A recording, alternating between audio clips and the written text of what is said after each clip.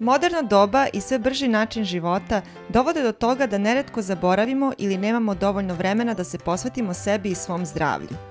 S obzirom da bi zdravlje trebalo da bude prioritet svakog od nas, porazgovarali smo sa Nebojšom, osnivačem Enfit programa, koji će nam objasniti i dati savete kako da promenimo životni stil u korist zdravlja. Po diplomi sam profesor sporta, inače sam, ajde kažemo, u, fitness, poslu rekreaciji, predavanje već posljednjih 15 godina i ono što najbitnije pomažem ljudima da postanu zdraviji, vitalniji, energični, što kroz treninge, što kroz zdravu ishranu, što kroz edukaciju.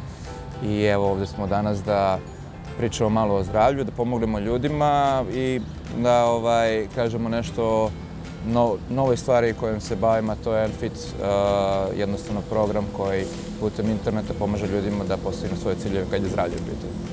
Enfit program je platforma na sajtu koji se pristupa tako što ljudi dođu, vide i ostave mail.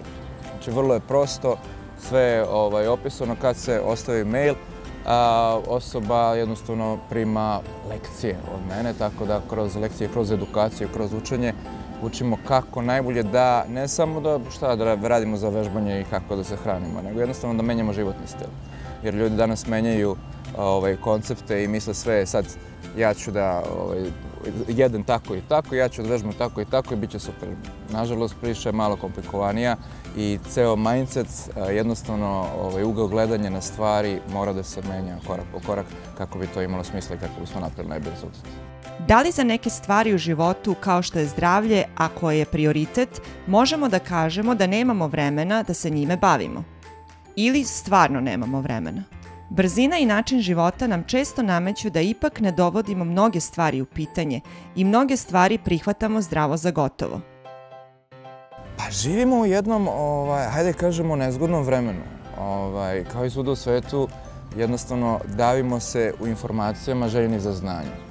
I danas, pogotovo kod nas, je, je problem što nekako svi mi mislimo da sve znamo, muškarci pogotovo, mi smo eksperti i za futbal i za politiku i za svašta nešto.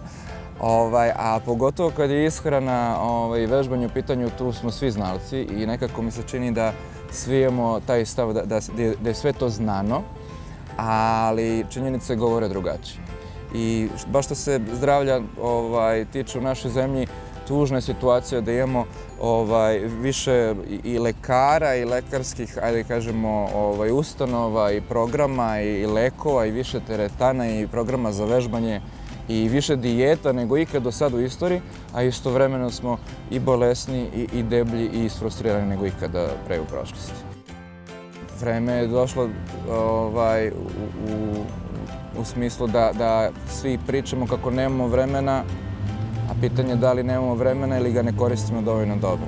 Ako provedemo van posla ovaj, ne znam, određeni broj sati na, na društvenim mrežama ili blenući u televiziju i gledajući serije, naravno da nećemo imati vremena. Ali kad se zapitamo da jednim, ovaj, ajde kaže u malim treningom od 20 minuta koliko je trajanje pola jedne telenovele, možemo napravimo čudo samo tri puta nedeljno, onda možemo stvari da vratimo na svoje mjesto.